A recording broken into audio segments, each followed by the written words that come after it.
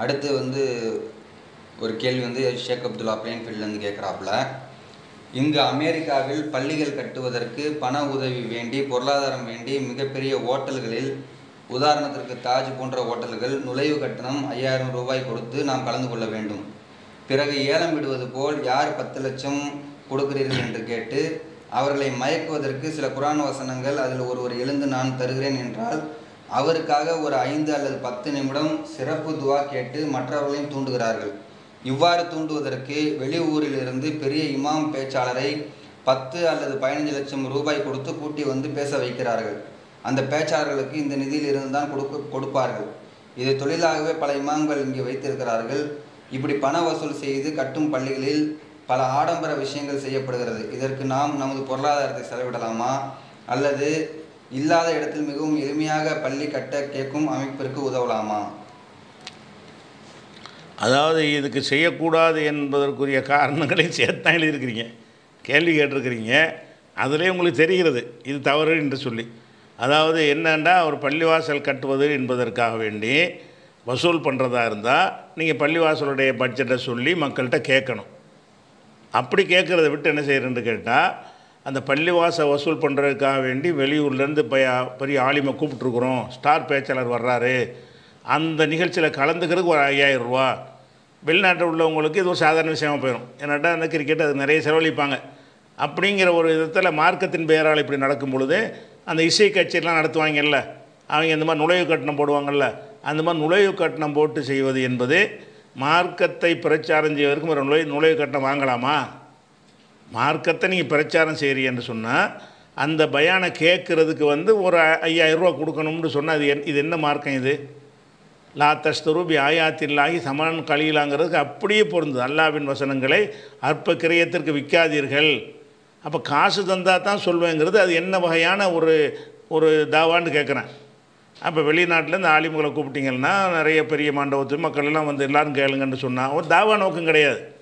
யார் ஐயாயிரரூவா கொடுத்து வர்றானோ பச உள்ளவனாக இருப்பான். அவனிடமிருந்து கொஞ்சம் காசுகளை வந்து கறக்க முடியும். அந்த மாதிரி ஒரு அடிப்படையில் இதை செய்கிறாங்க முதல்ல வ- மார்க்கத்தை சொல்வதற்குன்னு ஒரு ஆலிம் இங்கேருந்து கூட்டிகிட்டு போய் அவருக்கு பில்டப் கொடுத்து விளம்பரம் பண்ணி அவருடைய உரை அங்கேருந்து இந்தியாவிலேருந்து தாயகத்திலிருந்து வந்திருக்கிறார்கள் அப்படியா இப்படியான்னு சொல்லி அந்த நிகழ்ச்சிக்கு நீங்கள் ஐயாயிரம் ரூபா கொடுத்து என்ன செய்யுங்க வாங்கன்னு பணக்காரனை இன்வைட் பண்ணுறது லக்ஸரியான ஒரு மண்டபத்தை இப்போ ஹோட்டலில் பிடிக்கிறது. அப்போ தான் நான் பெரிய பெரிய பணக்காரங்க வருவாங்க. தாஜ் ஹோட்டல் மாதிரின்னு ஒரு போட்டிருக்காரு. உதாரணத்துக்கு தாஜ் நம்ம நாட்டை வச்சு அவர் சொல்கிறாரு அங்கே அது மாதிரி பெரிய பெரிய ஸ்டார் ஹோட்டல்கள் இருக்கும்.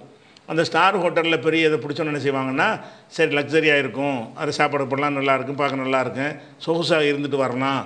அது ச பெரும்புகர்களே நம்ம சந்திக்கலாம். மார்க்கத்தை கேட்க வரமாட்டாங்க. அதுக்குன்னு ஒரு கூட்டத்தை கூட்டிகிட்டு வருவாங்க. அப்போ அந்த 5000 ரூபா அதில் ஒரு கலெக்ஷன் ஆகிடுச்சா அது போக என்ன செய்கிறாங்களாம் நீங்கள் வந்து உதவி செஞ்சீங்கன்னு சொன்னால் யார் அஞ்சு லட்ச ரூபா தர்றீங்க?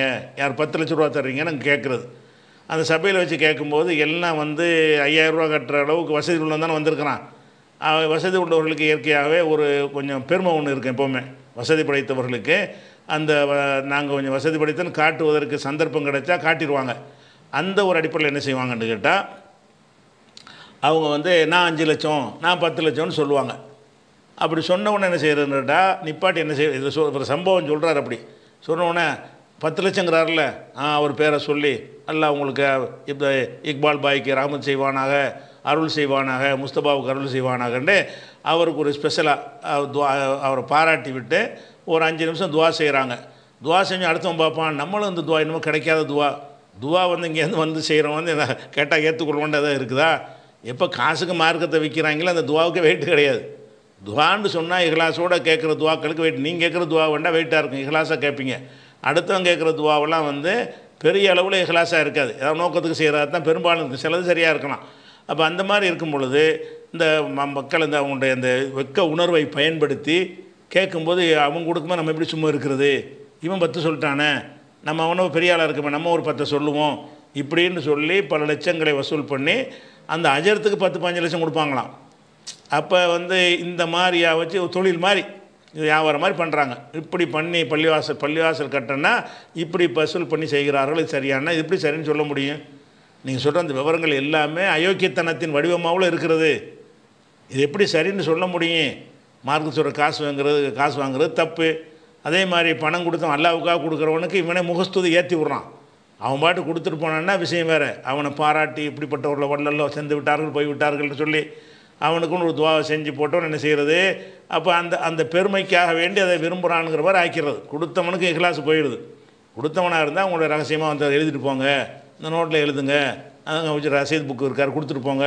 அப்படின்னு சொல்ல மாட்டாங்க. கொடுக்குறவன் தான் யாருன்னு தெரியப்படுத்தணும் அந்த மாதிரியான வாய்ப்பு இங்கே ஏற்படுத்தி தர்றாங்க அப்படின்னு சொல்லி தான் கொடுக்குறான். அப்போ அவன் இப்போ அவனும் பெருமைக்கு தான் கொடுக்குறான். அவனுக்கு நன்மை ஏற்று போயிடுது. அவ்வளோ பெரிய தொகையை கொடுக்குறவனுக்கு நன்மை இல்லை.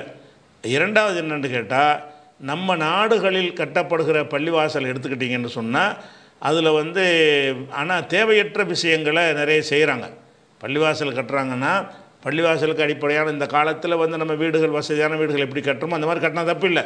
ஆனால் இந்த பள்ளிவாசல் திறப்புங்கிற அடிப்படையில் அதுக்கு ஒரு நிகழ்ச்சி நடத்துவாங்க பாருங்கள் அதுக்கு வந்து ஊரை வளைச்சி பந்தல் போடுவாங்க.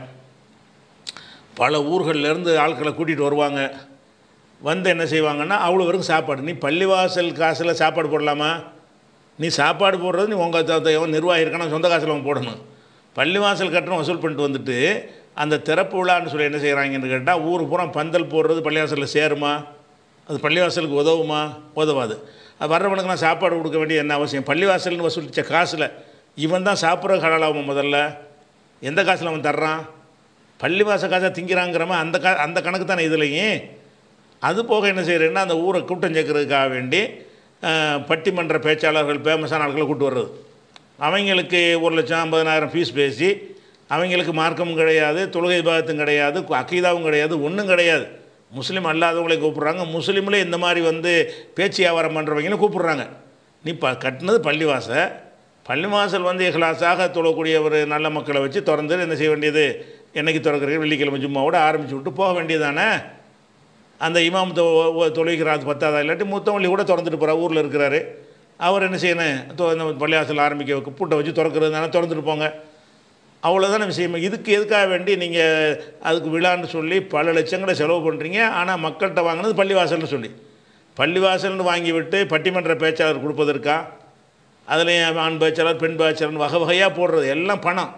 எல்லாம் எந்த பணம்? பள்ளிவாச காசு. நீ வந்து ஒரு அந்த மாதிரி நிகழ்ச்சி நடத்துகிறதா இருந்தால் அதுக்குன்னு வசூல் பண்ணி நீ செஞ்சின்னா கூட அதுக்குன்னு அவன் கொடுத்துருக்கான்னு வந்துடும் மக்கள் கொடுத்தது மக்கள்கிட்ட நீ கேட்டதுலாம் என்னது? பள்ளிவாசல் கட்ட போகிறோன்னு கேட்டது. அவன் பள்ளிவாசல் கட்ட போகிறோன்னு கேட்டது. அவன் பள்ளிவாசலுக்கு தான் கொடுக்குறோன்ட்டு அவன் தர்ற காசில் இந்த ஒரு அனாச்சாரங்களுக்கெல்லாம் செலவு பண்ணுறாங்க அதனால வந்து அந்த நிபந்தனையோடு யாருப்பெல்லாம் செய்ய மாட்டாங்களோ அவங்களுக்கு கொடுத்தா அவங்களுக்கு நன்மை தரும். அதே மாதிரி இந்த அஜர்த்தும் வந்து எந்த காசில் வாங்கிட்டு வர்றாரு? பதினஞ்சு லட்ச ரூபா பத்து லட்ச ரூபா பள்ளிவாசல் காசு வாங்கிட்டு வர்றாரு. வசூல் பண்ணதே பள்ளிவாசல்னு சொல்லி. வசூல் பண்ணிட்டு நீங்கள் வந்துட்டீங்களா இருந்தாங்க பத்து லட்ச ரூபான்னு அவருக்கு கொடுத்த இவ்வளோ பெரிய தொகையை வந்து பள்ளிவாசல் காசுலேருந்து கொடுத்தா அது எப்படி ஹலால் ஆகும்? எல்லாமே ஹராம். பார்த்தா காசு விஷயத்தை வந்து ரசூல்லா சொன்னாங்கல்ல ஹலாலாக ஹராமாங்கிறதை பொருட்படுத்தாத ஒரு காலம் வரும்னு. அது இன்றைக்கி இருக்குது அப்படி இருக்குது காசு விஷயத்தில் வந்தால் போதும். அது என்ன மாதிரி வருதுங்கிறத பற்றி பிரச்சனையே இல்லைங்கிற மாதிரி தான் மார்க் அறிஞர்கள் இருக்கிறாங்க சமுதாய தலைவர்கள் இருக்கிறாங்க இயக்கங்கள் இருக்கிறாங்க எல்லாருமே இருக்கிறாங்க. அப்போ பொதுமக்களாகி நீங்கள் தான் என்ன செய்யணும்னு கேட்டால் இதெல்லாம் இப்போ இப்படிப்பட்ட விஷயங்கள் நம்ம ஏன் கொடுக்கணும்? நம்மளை நம்மளை வந்து பைத்தியக்காரன் ஆக்குறாங்க. வேறு வேறு மார்க்கங்களில் வந்து ஜெபம் பண்ணுற காசு அந்த காசு இந்த காசுன்னு சொல்லி என்ன செய்யுங்க? தேவனுக்காக கொடுங்கலாம் அவங்க கேட்பாங்க. அவங்க மார்க்கத்தில் அது இருக்கிறது. இருக்கிறது அவங்க செய்கிறாங்க நம்ம அதெல்லாம் எங்கள் மார்க்கத்தில் கிடையாதுன்னு சொல்கிற மார்க்கத்தில் எதுக்காக வேண்டி மார்க்கத்தை சொல்லி இந்த மாதிரி ஏமாத்துறவங்களுக்கு நம்ம வழங்கணும்? அதை நீங்கள் சிந்திச்சு பார்த்து முடிவு எடுத்துக்கிறங்க இப்போ இந்த இவ்வளோ நேரம் பதில் சொன்ன விஷயத்துலேருந்து அங்கே பார்வையாளர்களாக பார்வையாளர்களாக பார்க்கக்கூடியவங்க வந்து வாட்ஸ்அப் மூலமாக வந்து சில கேள்விகள் மேலதிக கேள்விகள் கேட்டிருக்கிறாங்க. அதில் வந்து முதல் கேள்வியாக வந்து இந்த பள்ளிவாசல் சம்பந்தமாக பள்ளிவாசல் தேவை இருக்கும்போது அவர்கள் வசூல் செய்யும் முறையை காரணம் காட்டி அதற்கு உதவாமல் இருந்தால் பள்ளி எப்படி உருவாக்குவது? இங்கு வசூல் செய்யும் முறையே அதுதான். இங்கு உள்ள தொண்ணூறு சதவீத பள்ளிகள் உருவாகுவதற்கு இந்த முறை தான் பயன்படுத்தப்படுகிறது. இதை விமர்சனம் செய்யலாம். இதனால் நான் அந்த பள்ளிக்கு உதவ மாட்டேன் என்று முடிவெடுக்கலாமா? நான் அமெரிக்காவில் அந்த அதாவது தெளிவாக நம்ம மார்க்கும் நம்ம தெளிவானது. பாவத்துக்கு உதவாதீங்கன்னு நல்லா சொல்லிட்டான். தீமைக்கு உதவாதீங்கன்னு சொல்லிட்டான். பள்ளியின் பேரால் தீமை நடந்தால் கூடாதுன்னு அது இந்த மாதிரி தான் நடக்குதுங்கிறத வச்சு நம்ம பார்க்கக்கூடாது. ஒன்றும் தரலன்னா ரசுல்லா காலத்து மாதிரி குடிசையை போட்டு போங்க ஒன்றும் கிடைக்கலன்னு சொன்னால் ரசுல்லா காலத்தில் உள்ள மாதிரி செஞ்சுட்டு போக வேண்டியதானே இந்த மாதிரி செய்வதற்கு என்ன மார்க்க பயான் செய்வதற்காக வேண்டி நீங்கள் எதுக்காக வேண்டி இந்த மாதிரி நிகழ்ச்சி நீங்கள் நீங்கள் புறக்கணிச்சிங்கன்னா தன்னால் அவங்க சரி திருத்திக்கிடுவாங்க இதைத்தான் வழியாக இருக்குன்னு நீங்கள் நினச்சிங்கன்னு சொன்னால் வரதட்சணை வாங்கிட்டு இருந்தாங்க. இதான் வழி வேறு வழியே இல்லைன்னு சொல்லிட்டு இருந்தோம்னா ஒளிஞ்சிருக்குமா? உ- உறுதியாக நம்ம சொன்னோம் பிரச்சாரம் பண்ணோம் தப்புன்னு சொன்னோம். அதை கண்டித்தோம் அதுக்கு பிறகு என்ன செய்கிறது பள்ளிவாசல்களில் வரதட்சணை வாங்குற நிப்பாட்டினாங்க. ஜமாத்தில் வர வரதட்சணை பதிவு செய்கிறத நிப்பாட்டினாங்க. அப்புறம் படிப்படியாக மக்களை வாங்குவதற்கு வெக்கப்பட்டாங்க. அது இல்லாமல் போயிடுச்சு. ஒன்று இல்லாமல் போகணுமாக இருந்தால் நம்ம என்ன செய்யணும்? அதை தெளிவான முறையில் அந்த எதிர்ப்பை பதிவு செய்யணும். அப்போ நீங்கள் ஒருத்தன் போகலைன்னு வைங்க மண்டபத்தை பிடிச்சிட்டான். நீங்கள் யாருமே போகலை. அடுத்து அந்த வழியை கையாளுவானா? அப்போ இந்த வழி சரி வராது நம்ம நேராக போய் மக்களை அணுகுவோம். சும்மா கூப்பிடுவோம். இது வந்து மக்கள் ஏற்றுக்கல நீங்கள் ஏற்றுக்கிற போய் தானே வாங்குறாங்க. அப்போ இதுதான் வழிமுறையாக இருக்குன்ற பதில் நான் எந்த- எந்த ஒரு விஷயத்தை நீங்கள் பார்க்கணும். இப்படி ஒரு பதிலை அல்லாவிடத்தில் சொன்னால் அல்லா ஏற்றுக்குருவானா நீங்கள் பார்க்கணும். எப்போவுமே. எப்போவுமே என்ன பார்க்கணும்? நம்ம ஒரு சமாதானம் சொல்லி ஒரு ஒரு காரியத்தை நியாயப்படுத்தினால் இந்த சமாதானம் அல்லாட்ட எடுபடுமா? இறைவா நீ இதெல்லாம் செய்யக்கூடாதுன்னு சொன்னாய் மார்க்கத்தை விற்கக்கூடாதுன்னு சொன்னாய். ஆனாலும் இதை தவிர எங்களுக்கு வழி இல்லை அப்படின்னு சொல்லி அதனால் நாங்கள் செஞ்சோன்னா எல்லாம் ஏற்றுக்குருவானா உங்களை பெரும்பாண்டமாக கட்ட சொல்லி எல்லாம் கட்டளை தானே அந்த- கேள்விக்கு நீங்கள் பதில் சொல்ல முடியும்? அப்படி இல்லைன்னா குடிசையை போட்டு போ. இருக்கிற இடத்துல தொழுதுட்டு போ. அப்போ மொட்டை மாடலை தொழுதுட்டு போ. அப்படி தான் நல்லா சொல்லுவோம் அல்லாஹ் ஒன்றை வேணான்னு சொல்லியிருக்கும் பொழுது இதுக்காக வேண்டி மார்க்கத்தை விற்கிறது எப்படி நியாயப்படுத்துவீங்க? எதுக்கு கட்டணம் வசூலிக்கிறாங்க? பயான் பண்ணுவதற்கு கட்டணம் வசூலிக்கிறதுக்கு நியாயம். அவன் இஹ்லாசை செய்ய வேண்டிய காரியத்தில் வந்து ஷஹீத் மூணு பேரை எல்லாம் நிப்பாட்டி கேட்பானே. நரகத்துக்குள்ள கொண்டு போய் சேக்கி சேர்த்துறேன் மூணு பேர் எல்லாம் மறுமையில் கூப்பிடுவான். யாரை கூப்பிடுவான்? ஒரு ஆலிமை கூப்பிடுவான். நீ மார்க் அறிஞர் தானே? நீ எனக்கா என்ன செஞ்சாயின்னு கேட்பான். இது முஸ்லீமில் வரக்கூடிய ஹதீஸு. அவர் என்ன செய்வார்? நான் கல்வியை கற்று மக்களுக்கு நல்லா சொன்னேன் அப்படிம்பார். அல்ல என்ன செய்வான் நல்லா சொல்லத்தான் செஞ்ச நீ எதுக்கு சொன் எதுக்கு சொன்னாய்? நீ உட்கார அன்னக்க காரி உன் உன்னை அறிஞர் என்று மக்கள் சொல்ல சொல்லணும் என்பதற்காக தான் இதை செஞ்சாய். அதனால் ம மக்கள் அது மாதிரி சொல்லிட்டாங்க. அறிஞருங்கிற பாராட்டு உலகத்தில் ஒன்று கிடைச்சிருச்சு. இழுத்து போங்க நரக நரகத்துக்குன்றான் அப்போ இவ காரியமெல்லாம் செஞ்சுருக்கிறாரு. நோக்கம் மட்டும் லேசாக மாறிப்போச்சு. எப்படி? புகழுக்காக வேண்டி. அறிஞர்னு பேர் வாங்குறதுக்காக வேண்டினோன்னா அது நரகத்துக்கு போகிற காரியமாக உதவி நல்ல காரியம் தான் செஞ்சார். தாவா தான் பண்ணார் தௌஹீதை தான் பேசினார். மார்க்கத்தான் சொன்னார். சொல்லும்போதே அவருக்கு என்ன வந்துருச்சுன்னா நம்ம சொன்னோம் இல்லை அறிஞன் பாராட்டுவாங்க. அப்படி உள்ளே வந்துருச்சுன்னு வைங்க. அதுக்கு கூலி இல்லைன்னு சொன்னாலும் பரவாயில்லை. நரகத்துக்கு போங்கன்னு நல்லா சொல்கிறான் இவனை நரகத்துக்கு எடுத்து கொண்டு போகிறங்கள் அதே மாதிரி ஒரு ஷஹீது. உயிர் தியாகி. உயிர் தியாகம் சின்ன விஷயமா? பெரிய தியாகம். அவ்வளோ பெரிய காரியத்தை ஒரு செஞ்சுருக்கிறான். அவனை கூப்பிட்டு நல்லா கேட்பான். என்னடா உனக்கு இவ்வளோ உடல் வலிமையை தந்தனே? அதெல்லாம் என்ன செஞ்சாய்? நல்லா கேட்பான். அவர் என்ன செய்வார்? நான் தீவிரமாக போரிட்டு உயிரே நான் கொடுத்துட்டேன்ல உனக்காக வேண்டி அப்படிம்பாரு. அப்போ எல்லாம் என்ன செய்வான்? நீ உயிரை கொடுத்த நிஜம். ஆனால் எனக்காங்கிறது பொய். கதப்பத்தை நீ பொய் சொல்லுகிறாய். நீ எதுக்காக நீ உயிரை கொடுத்தாய்? நீ உக்கால அன்னக்க ஜரீவுன் நீ ஒரு மாவீரன் என்று மக்கள் பேசணும் என்பதற்காக கொடுத்தாய். பேசிட்டாங்க. எதுக்கு கொடுத்தாயோ அந்த அந்த மக்கள் பாராட்டிட்டாங்க. பெரிய வீரர் வாழ்ந்து எல்லாரும் பாராட்டி விட்டார் ஓடு நரகத்துக்கு கொண்டு போன்றுவான். அப்போ இவர் என்ன செஞ்சார்? உயிரை தான் கொடுத்தாரு. அதில் எந்த தப்பும் இல்லை. எந்த தவறும் செய்யலை. தைரியமாக இருந்தார். உயிரை கொடுக்க எவனுக்கு மனசு வராது. அவருக்கு வந்திருக்குது. ஆனாலும் அப்படி செய்யும்போது மனசில் என்ன வருதுன்னா நம்ம இப்படி ஷஹீதாகிட்டோம்னு சொன்னால் எல்லோரும் பேசுவாங்க. நம்ம சந்ததி சந்ததியாக ஷஹீதுடைய பிள்ளை ஷஹீதுடைய பேரன் இப்படின்னு நம்மளை பற்றி பே பேச்சு இருந்துக்கிட்டே இருக்கும். அப்படின்ட்டு வந்தவுடனே என்னவாச்சுன்னு சொன்னால் நீ எனக்கு செய்யலை. எனக்கு செஞ்சதை நான் கூலி தருவேன். எனக்கு செய்ய வேண்டிய விஷயத்தை வந்து வேறு ஒருத்தருக்கு செஞ்சால் உன்னை நரகத்தெல்லாம் போடுவேன். அந்த இபாதத்தை வந்து நீ மிஸ்யூஸ் பண்ணி விட்டாயின்னு சொல்லி அல்லாஹ் வந்து அவனையும் தள்ளி தள்ளிட்டானா அடுத்து யாருன்னு கேட்டால் பணக்காரன். அதான் நம்ம டாப்பிக்கில் உள்ளது. ஒரு ஆளியுமே சொல்லியாச்சு சகிதையும் சொல்லியாச்சு. மூணாவது ஆள் யார்? ஒரு செல்வந்தன். அப்போ இந்த செல்வந்தன் வந்து எல்லாம் கேட்பான் உனக்கு காசு பண்ண தந்திருக்கானே நீ என்ன செஞ்சாய்? நிறைய அள்ளி அள்ளி கொடுத்த நல்ல காரியம் செஞ்சேன் அப்படின்னு சொன்னேன். அப்போ என்ன நீ செஞ்சதெல்லாம் சரிதான்ப்பா நீ எதுக்கு செஞ்ச? நீ உக்கால அண்ணக்க ஜவாதுன். வள்ளல்னு சொல்லணும். அதுக்கு தானே செஞ்சாய். சொல்லிட்டாங்க. ஊரில் பூரா வள்ளல்னு உன்னை பாராட்டிட்டாங்க. அப்போ உன்னை கொடை வள்ளல்னு மக்கள் பேசணும் என்பதற்காகத்தான் நீ செஞ்சாய். அப்படின்னு சொல்லிட்டு உனக்கு கூலி இல்லைன்னு எல்லாம் சொல்ல மாட்டான். நரகத்துக்கு போன்றுவான். அப்போ இது தண்டனைக்குரிய ப உதவியும் செஞ்சு பாவமும் ஏற்படுத்து பாருங்க. அப்போ ஒரு மனிதன் என்ன செய்யணும்னு கேட்டால் இப்போ பொது காரியத்துக்கு பள்ளியாச கட்டுறேங்கிற நீ நினைக்கணுமா? உங்களை நரகத்திலேருந்து காத்துக்குள்ளே நினைக்கணுமா? ஹூ அம்புசக்கும் அகலிக்கும் நாரா. உங்களையும் உங்கள் குடும்பத்தார்களையும் நரகத்தை விட்டு காத்துக்கொள்ளுங்கன்னு நல்லா சொல்கிறான் அப்போ நரகத்தை விட்டு காத்துக்கொள்ளணுங்கிற ஒரு விஷயமாக இருந்தால் இந்த மாதிரி அவர்கள் முகஸ்துதிக்காக நம்மளை செய்ய வைக்கிறார்கள். இதுக்கு நம்ம செய்யக்கூடாது. காசு வாங்குறார்கள் இதுக்கு செய்யக்கூடாதுன்னு நீங்கள் நினச்சி செய்யலைன்னா அல்லாட்டையில் குற்றவாளி ஆகல அவனே. இது குற்றம் வராதுன்னு நினைக்கிறாங்க. என்னன்னு கேட்டால் நம்ம தப்பு செஞ்சால் தானே குற்றம்னு நினைக்கிறாங்க. தவறானதுக்கு உதவி செஞ்சாலும் குற்றம் வரும். தவறான விஷயம்னு தெரிஞ்சுக்கிட்டு அதுக்கு சப்போர்ட் பண்ணாலும் என்ன செய்யும் அதுலேயும் குற்றம் வரும். அதனால் பள்ளி வாசல் முதல்ல என்னென்னு கேட்டால் உங்களுக்கு பள்ளி வாசலுக்கு என்ன இலக்கணம் வச்சுருக்கிறீங்க? பள்ளிவாசல்னு சொன்னால் ரசூல் ஆரம்ப காலத்தில் மக்காவில் இருக்கும் பொழுது மதீனாவிலேருந்து வந்து சில பேர் என்ன செஞ்சாங்கன்னா இஸ்லாத்தை ஏற்றுக்கொண்டு மதீனாவுக்கு வந்துட்டாங்க. வந்து அவங்க என்ன செஞ்சாங்க? எந்த பள்ளிவாசலும் அங்கே அவங்களுக்கு இல்லை. தொழுவதற்கு. ஊருக்கு வெளியில் போய் திறந்த கூழாங்கல் நிறைந்த ஒரு பகுதியில் போய் என்ன செய்வாங்க?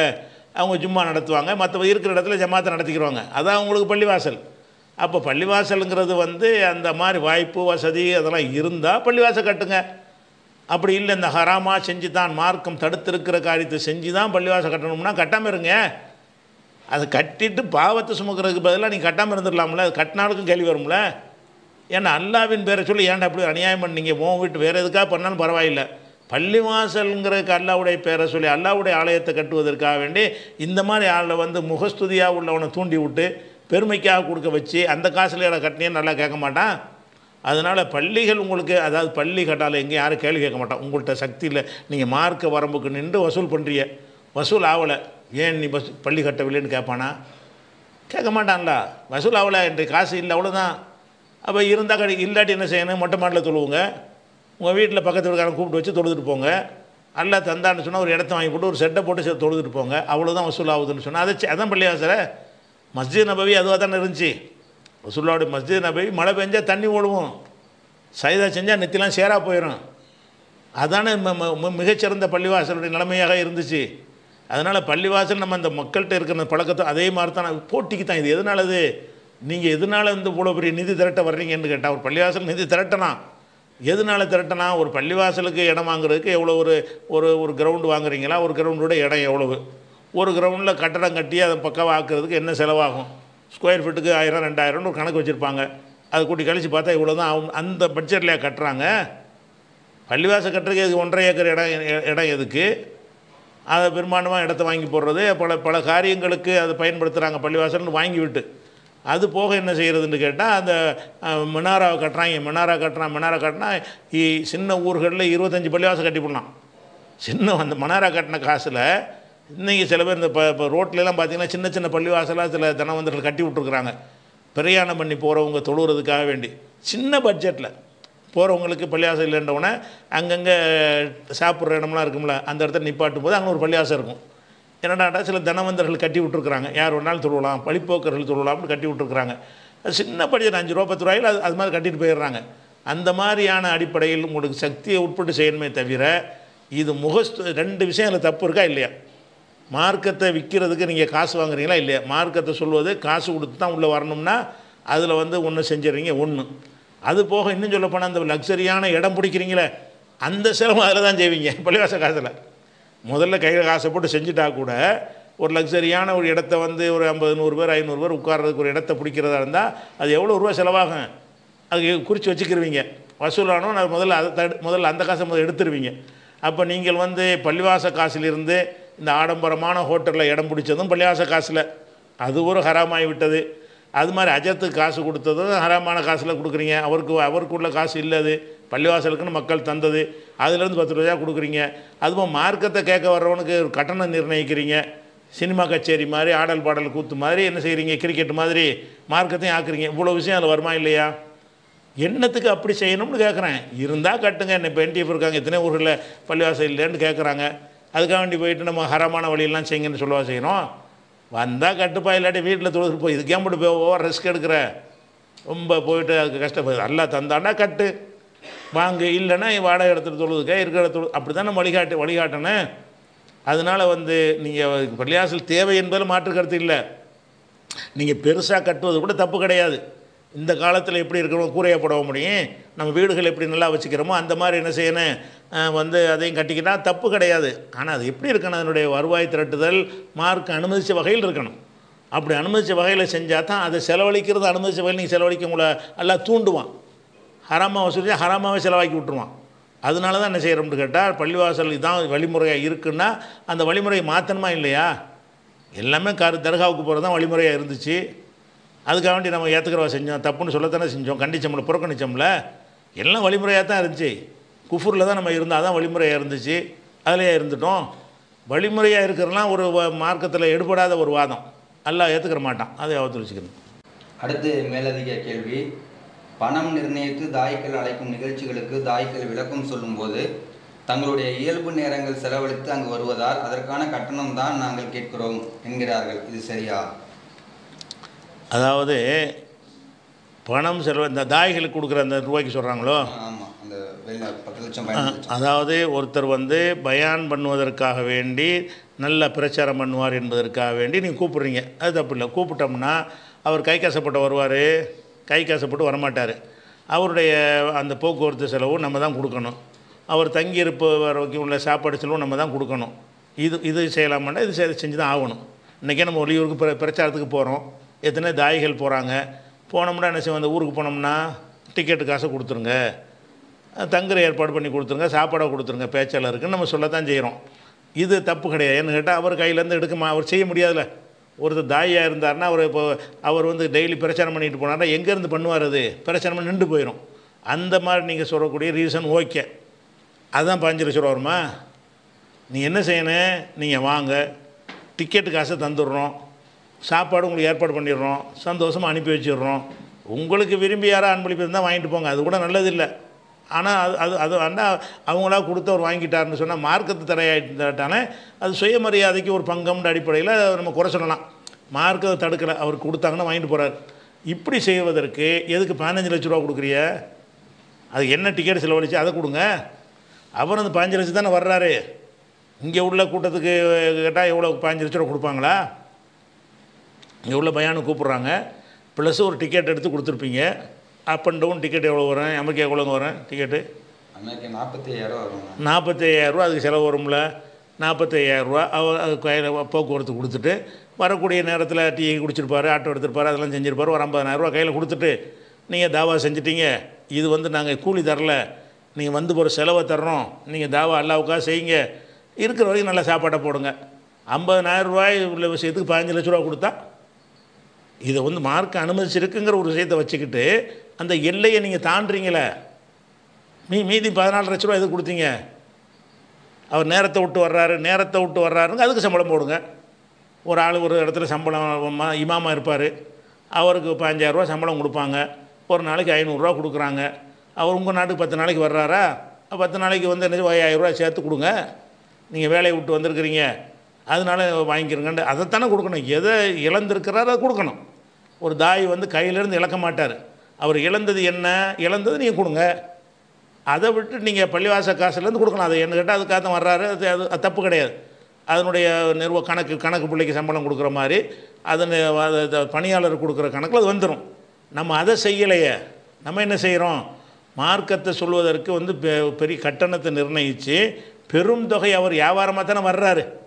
வரக்கூடிய அஜர்த்து வந்து அந்த பயான் பண்ணக்கூடியவர் என்ன செய்கிறாரு யூஎஸில் கூப்பிட்ருக்குறாங்க சிக்காகோவுக்கு நம்ம போகிறோம் போனோம்னா நமக்கு ஒரு பதினஞ்சு லட்ச ரூபா கிடைக்கும். அவர் அதுக்கு தானே வர்றாரு? அவருடைய நோக்கம் அதுவாக தானே இருக்குது. இப்படி சொல்லி பாருங்க வருவாராண்டு அப்படின்னா அந்த இஹ்லாஸ் இல்லாத பயணம் எப்படி பயன் தரும்? அவர் வந்த பதினஞ்சு தந்தா தான் அந்த காலத்தில் நாங்கள்லாம் மீலாது விழா அதெல்லாம் நடத்தின ஒரு காலத்தில் அதெல்லாம் செஞ்சாளுக்கு தானே. மீலாது விழா நடத்தும் போது என்ன செய்வோம் நாங்கள் சிறுவர்களாக இளைஞர்களாக இருக்கும் பொழுது ஒரு அஜரத்தை கூப்பிடுவோம். அவர் என்ன செய்வார்னா தந்தி மணி ஆர்டரில் எம் எம்மோ தம்பி தந்தி மணி இப்போ இருந்துச்சு. தந்தி மணி என்ன செய்யணும் நீங்கள் டிஎம்ஓன்னு சொல்லுவாங்க அதை. டிஎம்ஓவில் உடனே நீங்கள் ஆயிரரூவா அனுப்பி அந்த காலத்து ஆயிரரூவா அந்த காலத்து ஆயிரரூவா எனக்கு ஐயாயிரம் பத்தாயிரரூவா இருக்கும். பேச்சாளருக்கு முதல்ல பணத்தை அனுப்புனா தான் வருவார். இப்படியெல்லாம் இருந்து அதெல்லாம் வெறுத்து இப்படிலாம் செய்கிறாங்களேன்னு சொல்லி அதை எதிர்த்து நம்ம வந்த நம்ம இன்றைக்கி பெரிய பாஞ்சு லட்சம் கொடுக்குற அளவுக்கு வந்தால் என்ன அர்த்தம் இது? இதுவே நமக்கு அருவறுப்பாக தெரிஞ்சு. அட மார்க்கத்தை சொல்கிற கூப்பிட்றோம். தந்திமணியார் வந்தால் போக்குவரத்து தாங்க. தங்குறதுக்கு எனக்கு கொஞ்சம் கொஞ்சம் ஃப்ரீ ப்ரைவசியாக இருக்கிற மாதிரி ரூம் போட்டு தாங்க. எனக்கு கொஞ்சம் ப்ரைவசி தான் எனக்கு பிடிக்கும். நல்ல சாப்பாடு தாங்கன்னு கேட்டாலும் தப்பு கிடையாது. இவங்க என்ன செய்கிறாங்கன்னு கேட்டால் அதை தாண்டி எங்கேயோ போய் நின்று கேட்குறான்னு என்ன அர்த்தம்? அப்போ இதெல்லாம் ஒரு வியாபாரம் ஆயிடுச்சு இன்றைக்கி பேச்செல்லாம் என்ன செய்கிறது இந்த சிஏஎன் நடத்துனாங்க. சிஏஏ நடத்தினதை வந்துக்கிட்டு எல்லா பேச்சாளரும் ஆகும்னு பேசுனதுக்கெலாம் என்ன காரணங்கிறீங்க? எல்லாம் காசு. எல்லாத்துக்கும் என்னது? யார் பேச போனாலும் சரி நாற்பதாயிரம் கேட்டவங்க ஐம்பதாயிரம் கேட்டவங்க அந்த மக்கள் வந்து சிஐ கொடுக்குறோம்னு கொடுக்குறாங்க. அந்த மக்களை தக்க வைக்கிறதுக்காக வேண்டி. எல்லாம் வியாபாரம். பேச்செல்லாம் வியாபாரம். அது அதே மாதிரி தான் அஜித் மாதிரி செஞ்சான்னு அர்த்தம். அப்படி செஞ்சாங்களா இல்லையா? அதனால் வந்து நீங்கள் இஹ்லாஸுக்கு முக்கியத்துவம் கூட நான் என்ன கேட்குறேன்னா பெருசாக என் நல்லா கேட்பானா? நல்லா செஞ்சான்னு தானே கேட்பான். சரியாக செஞ்சான்னு தான் நல்லா கேட்பான். என் பெருசாக செய்யலை? அது கேட்கவே மாட்டான்ல. அல்லா மார்க்கத்தின் பெயரால் செய்கிறதுக்கு ஏன் நீங்கள் வந்துக்கிட்டு அல்லா அல்லாவுடைய விருப்பம் என்னன்னு பார்க்க மாட்டேங்கிறீங்க? மார்க்க விஷயத்து உங்கள் கல்யாணத்துக்கு நீங்கள் பெருசாக செய்யுங்க என்னமோ செஞ்சு உங்கள் அஜரத்தை கூப்பிட்றீங்க. என் கல்யாணத்துக்கு வாங்க அஜரத்துக்குறீங்க வந்ததுக்காக நீ பாஞ்சு லட்ச ரூபா கொடுக்குறீங்கன்னா அது அது போய் எல்லாம் உங்களை கேள்வி கேட்க மாட்டான். நீங்கள் உங்கள் காசை விரும்பி நீங்கள் கொடுக்குறீங்க. காசு உங்கள் காசு நீங்கள் விரும்பி கொடுக்குறீங்க. மார்க்கத்தின் பேரால் கொடுக்கல முகப்பத்தின் பேரால் கொடுக்குறீங்க. ஒரு அஜரத்துக்கு வர்றாரு நம்ம வீட்டு கல்யாணத்துக்கு வந்துட்டாரு. இந்தாங்க அஜரத்து அஞ்சு லட்ச ரூபா வச்சுக்கிறோங்க. என்று நீங்கள் கொடுத்தீர்கள்னா அதை தப்புன்னு நம்ம சொல்லுவோமா? அவர் மார்க்கத்தை சொல்வதற்காக வரல நீங்கள் மக்கள் காசுலேருந்து கொடுக்கல. பள்ளிவாச காசுலேருந்து உங்கள் காசுலேருந்து கொடுக்குறீங்க. அந்த மாதிரி விஷயங்கள் வந்து தனி. அது நம்ம குறை சொல்ல முடியாது. அது அது அது இயல் இயல்பாக பல இடத்துல நடக்கத்தான் செய்யும். ஆனால் நாங்கள்லாம் வெளிநாட்டுக்கு போவோம் நிபந்தனையை போட்டுருவோம். வெளிநாட்டுக்கு போனால் எங்களுக்கு வந்து எந்த ஒரு அன்பளிப்பும் தரக்கூடாது. வெளிநாட்டுக்கு போயிட்டு அப்படி வீசு நகை வெறுங்கை மாற்ற நாங்கள் திரும்பி வந்திருக்கிறோம். இது வரைக்கும் நான் எந்த வெளிநாட்டுக்கு போனாலும் சரி அங்கேருந்து எந்த பொருளையும் நாங்கள் வாங்க மாட்டோம். தந்தாலும் வாங்கக்கூடாதுங்கிற ஒரு கண்டிஷன் நமக்குள்ளே போட்டுக்கிட்டோம். ஏன்னு கேட்டால் நம்மளை வச்சுட்டு அப்புறம் வசூல் பண்ணுவாங்க. வந்துட்டாரு கௌரவப்படுது. இது பிச்சை கொடுக்குற கௌரவம் அது. கௌரவப்படுத்தி அனுப்பணும் அப்படின்னு சொல்லி என்ன செய்வாங்க? நம்ம பேரை சொல்லிட்டு ஒருத்தரையாக வசூல் பண்ணுவாங்க. அதனால் நம்மளாம் எத்தனையோ நாடுகளுக்கு போயிருக்கிறோம். போகிறது என்ன? டிக்கெட்டு காசு ஒன்லி அவ்வளோதான் சாப்பாடு கொடுங்க. வேறு எந்த ஒரு பத்து பைசா பொருளும் எங்களுக்கு தரக்கூடாது. நம்மளே போனோம்னா நம்மளே காசு கொண்டு போய் பிள்ளைகளுக்கு தான் வாங்கிட்டு வராந்தா அப்படி வாங்கிட்டு வந்திருக்கமே தவிர வாங்கலாம். அதனால் ஒரு க ஒரு ஒரு க- கண்ணியம் மரியாதை நம்ம காப்பாற்றிக்கிற முடியும். அதனால் அதுதான் சிறந்தது. இருந்தாலும் நீங்கள் அன்பளிப்பாக கொடுத்தா தப்பு இல்லை. அடுத்தவங்களுக்கு கொடுக்க நம்ம தப்புன்னு சொல்லலை. ஆனால் வந்து இதுக்கு என்னது? இது அன்பளிப்பில் வருமா இது? பள்ளிவாச காசில் கொடுக்குறது? அங்கே உள்ள இதை தனவந்தர் கொடுத்துட்டு போகிறார் பதினஞ்சு லட்ச ரூபா நீ கொடுங்க தப்பு இல்லை எப்போ தப்பு இல்லை அஜித் நம்ம நாட்டுக்கு வந்துட்டாங்க. நம்ம ஏதாவது கண்ணியப்படுத்துவோம் நாங்கள் ஒரு பணக்காரரு இந்தாங்க அஜித் பதினஞ்சு லட்ச ரூபா வச்சுக்கிறோங்க. இதை நான் குறை சொல்ல முடியாது. ஏன்னு கேட்டால் அவர் அவர் காசை கொடுக்குறாரு. இது பள்ளிவாச காசு. இது பள்ளிவாசலுக்குன்னு அந்த எந்திரிச்சு கை ஊற்றிக்கிட்டு தர்றாரில் ஒருத்தர். அவருடைய காசு அது. துவா செஞ்சீங்கல்ல சிறப்பு துவா. அவர் கொடுத்த காசு. அந்த மாதிரி சகோதரில் கொடுத்த காசு. ஆ பள்ளிவாசம் தானே கொடுத்தாரு? அதில் வந்து இதெல்லாம் செய்வது எப்படி சரியாக வரும்? அதனால் வந்து நமக்கு ம மனசு கொஞ்சம் மாறணும். நமக்கு சரியானது செய்வோம். பெருசாக செய்ய ஆசைப்பட வேணாம். எது கரெக்டாக அது மட்டும் செய்வோம். ம் அது. அடுத்து வந்து மேலதிக கேள்வி இன்னொன்று வந்து இந்த பணம் வசூலிக்க ஏற்பாடு செய்யும் நிகழ்ச்சிக்கு ஏற்படும் செலவினங்களுக்கு அதாவது மண்டப வாடகை உணவு போன்ற செலவுக்கு நுழைவு கட்டணம் வாங்கலாமா? இந்த என்ட்ரன்ஸ் ஃபீஸ் அதாவது ஒரு வர்றாங்கன்னு சொன்னால் பயானுக்கு வர்றவங்களுக்கு நம்ம சாப்பாடு கொடுக்க வேண்டிய எந்த ஒரு அவசியமும் கிடையாது. மார்க்கத்தை சொல்லுவா இருந்தால் சோறு கொடுங்கன்னு அவசியம் இருக்கா? இல்லை. ஆனால் நம்ம கொடுக்குறோம். அப்போ என்ன செய்கிறோம்னா சாப்பாடு ஏற்பாடு பண்ணியிருக்கிறதுனால அதுக்கு உள்ளது அதே மாதிரி இந்த இதுக்கெல்லாம் நாங்கள் வாடகை கொடுக்குறோம். அந்த ஒரு இதுக்கு ஒரு சேருக்கு இவ்வளோ கட்டணம் வருது. அதையும் கொடுங்கன்னு கேட்கலாம். என்ன கேட்கலாம்? அதுக்கு என்ன வாடகை இருக்குதோ அதை டிவைட் பண்ணி ஐநூறு சீட்டாக ஐநூறு ஆளை வகுத்து ஒரு சீட்டுக்கு இவ்வளோ வருது சாப்பாட்டுக்கு இவ்வளோ வருதுன்னு ஒரு கணக்கெடுத்து இந்த வகைக்காக வேண்டி நீங்கள் கொடுங்க. ஐயாயிரம் ரூபாய் இல்லை பத்தாயிரம் கொடுக்கணும் அது விரும்பி வர வர்றான். லக்ஸரியான இடத்துல பிடிச்சிருக்குறோம். அதுக்குரிய காசை நீங்களே கொடுங்க. அப்படின்னு சொன்னோம்னா அந்த சாப்பாட்டுக்கும் அதற்கும் தான் நீங்கள் வாங்கினீங்களே தவிர மார்க்கத்தை சொல்கிறதுக்கு வாங்கலை. மார்க்கத்தை சொல்கிறதுக்கு அது அதோட கூட வாங்கினீங்கன்னா அது எதுக்கு வாங்குனீங்க? அந்த அளவுக்கு வாங்கினா குற்றம் வராது. நீங்கள் வந்து சாப்பாடுக்கு போட்டு நம்மளே வந்து நிகழ்ச்சிகள் நடத்தும் போது உணவு ஏற்பாடு பண்ணோம்னா என்ன செய்வோம்னா சில நேரத்தில் அவங்கள்ட்ட கட்டணத்தை வாங்குவோம். எல்லோரும் செய்கிறதான் செய்கிறோம் வாங்காமல் இருப்போம் சில நேரங்களில். அது வாங்குறது ஏன் வாங்குறோம்னா அது எப்படி தப்புன்னு சொல்ல முடியும். பயான் கேட்குறது தானே அவருடைய அவருக்கு கொடுக்க வேண்டிய நம்ம கடமை. அவர்கிட்ட காசு வாங்குறது வந்து பயானுக்கு வாங்கக்கூடாது ஃப்ரீயாக தான் கொடுக்கணும். வந்திருக்குப்பா நல்லா செஞ்சு இந்த இடத்துல இந்த ஏற்பாடு நாங்கள் செய்கிறதுனால இந்த வசதிகளுக்கு நாங்கள் இவ்வளோ செலவு பண்ணியிருக்கிறதுனால நீங்கள் அதற்காக நுழைவு கட்டணம்னு சொல்லி அதுக்குரிய கட்டணமாக நீ நிர்ணயிச்சீங்கன்னு சொன்னால் குறிப்பும் போடுங்க அதில். இதில் வந்து சொற்பொழிவுக்கோ சொற்பொழிவாளருக்காகவோ இந்த கட்டணம் வசூலிக்கப்படவில்லை. நம்ம செய்கிறோம் சரியாகவும் செய்யணும்.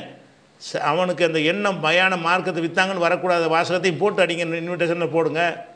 எந்த குழப்பமும் வராது. இதிலேருந்து என்ன செய்யலாம் அவங்க வந்து அந்த இதுக்கு செல செலவழிக்கலை. நம்ம காசு வந்து நம்ம எதை பயன்படுத்தணுமோ அதுக்கு தான் வாங்குறாங்க. அப்படின்னா தப்பு வராது எதுவும் தப்பு வராது.